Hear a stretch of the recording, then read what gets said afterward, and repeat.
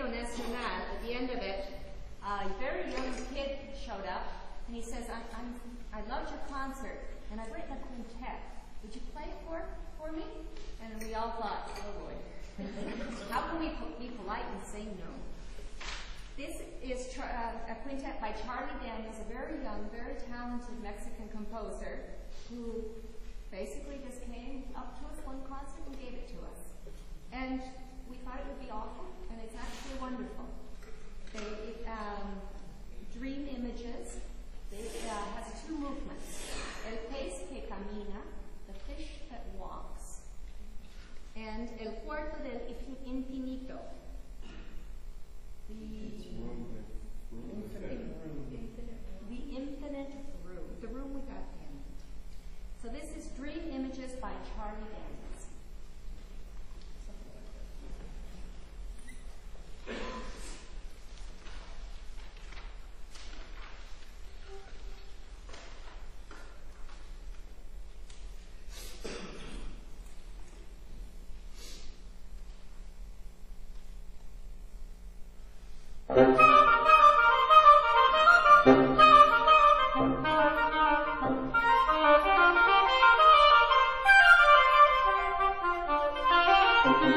Thank